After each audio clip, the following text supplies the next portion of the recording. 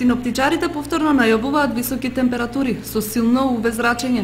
Со цел заштита на населението од високите температури во регионот зафатени од топлотниот бран, лекарите апелираат да се внимава на исхраната, облеката и да не се излегува директно на сонце. Редко до сега сме имале на овие терени толку високи температури, особено кои што се движат над 40 степени. Или тие па температури се биле така постепено приближувани до тие енормно високи мер, мерки, а, така да луѓето многу малку ги чувствува. Во последно време температурите од 40 па и нагоре се скоро континуирано присутни на ова наше подрачје.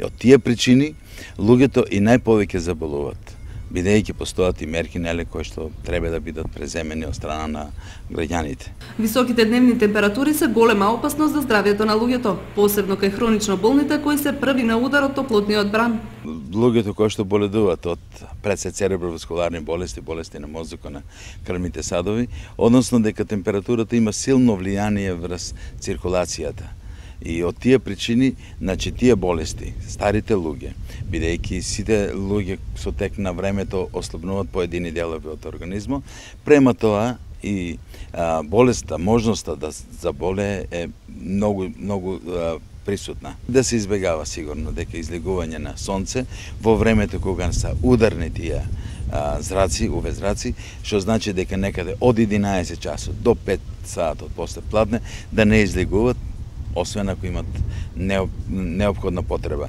Да не се возат со кола, бидејќи внатре температурата, колку да има air condition, таа ствара температура која што влијае на дишањето, а дишањето на целокупната наша циркулација, а делува тој на мозокот и на размислувањата. Последните години значително е зголемен бројот на клима уредите, како во домовите, така и во деловните простории, а полемиките за штетното влијание на овие уреди секојаш се актуелни во летниот период. Негативни се доколку доколку постои една континуираност на тие. Затоа велиме ние да не се излегува од 11 до, до 5 сато после пладне, во периодот кога може да се таа температура на некој начин адаптира нашиот организам. И често менување на тие температурни разлики неле доведуваат до катастрофални последици. Слушаме ни на радио и на телевизија дека често пати излегувајќи од колата со во која работел одлично air conditioner, меѓутоа разликата во надвршна температура е уште подрастично зголемена. И према тоа треба да се избегава или да се адаптира постепено на температурата на